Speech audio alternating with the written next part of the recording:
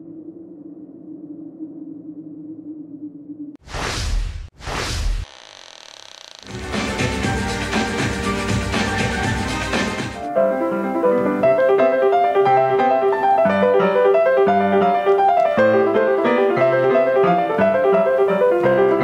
Wir sind eine Schweinfurter Breakdance-Gruppe und der ähm, Intendant vom Würzburger Mozartfest ähm, wollte unbedingt ein klassisches äh, ein Breakdance-Stück auf klassisch, äh, Klassik haben und ähm, da hat er, uns, hat er an uns gedacht und ist dann mit dem Christoph Hagel in Kontakt getreten und hat ihn gefragt, ob er sich vorstellen kann, mit uns sowas zu machen, ein abendfüllendes Programm. Und dann haben wir gedacht, ja, wir machen gern so Crossover-Sachen und sind natürlich dann mit Freude in das Projekt gestartet.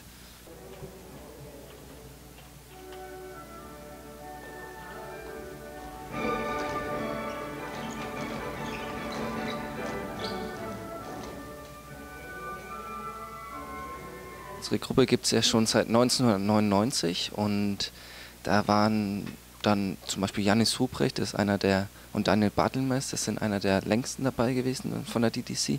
Und Marcel und die anderen, ähm, wir waren Schüler von denen dann, die waren zuerst im Jugendraum, sind dann in die Tanzschule Pelzer. Dort sind wir dann dazu gestoßen, waren Schüler, sind dann immer besser geworden und jetzt sind wir eine große Gruppe und bestehen jetzt aus acht Leuten schon und wir wachsen stetig und ja, so sind wir zum Breakdance gekommen.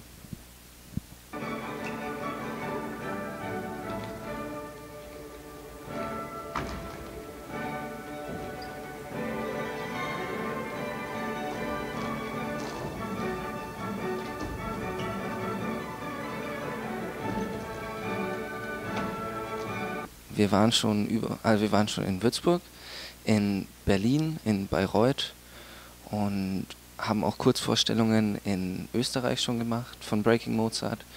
Ähm, und ja, am schönsten war es, kann man schwer sagen. Das hat je, jede Stadt hat seinen eigenen Charme. Und uns die erste Aufführung in Würzburg war natürlich gigantisch mit 1500 Zuschauern.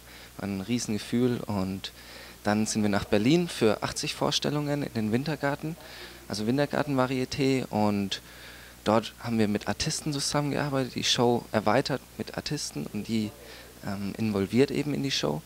Und ja, das war wieder ein ganz anderer Charme und war natürlich etwas kleiner mit 400, pro Vor 400 Zuschauern pro Vorstellung, aber war immer gut ausverkauft und ja, wir freuen uns auf jeden Fall, dass wir die Zeit bis jetzt so gut und erfolgreich überstanden haben und freuen uns natürlich jetzt hier auf das wunderschöne Schweinfurt und unsere Heimat und hoffen, hier geht es mindestens genauso ab.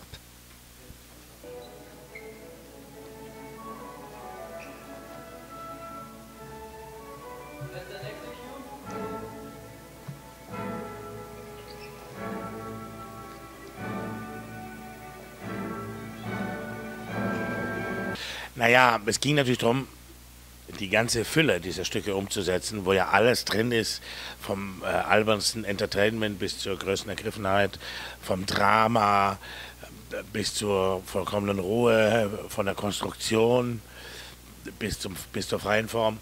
Und es ging mir schon darum, die ganzen Facetten von Mozart, äh, die wir in der Musik haben, in die Geschichte, in den Tanz, in das Sichtbare umzusetzen. Und ja, das gelingt uns von Mal zu Mal mehr.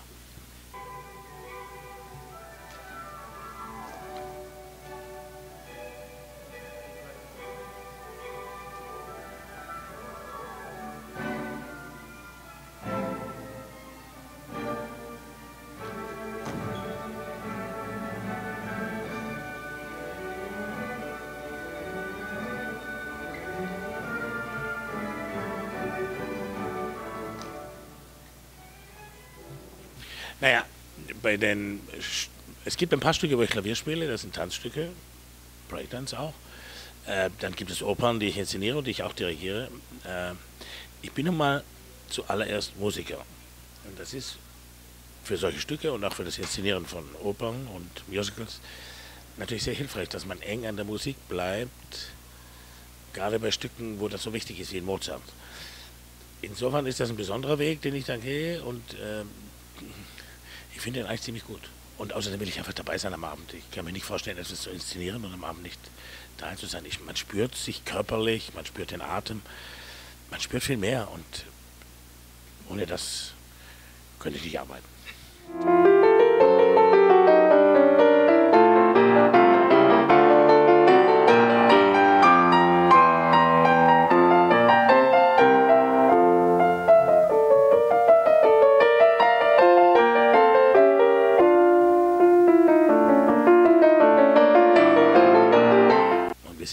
Weitergekommen jetzt durch diese Proben die letzten Tage. Äh, oh. Besonders war natürlich die Uraufführung in Würzburg letztes Jahr. Äh, Berlin, das waren einfach wahnsinnig viele Aufführungen. Aber nein, ich glaube, das hier wird richtig.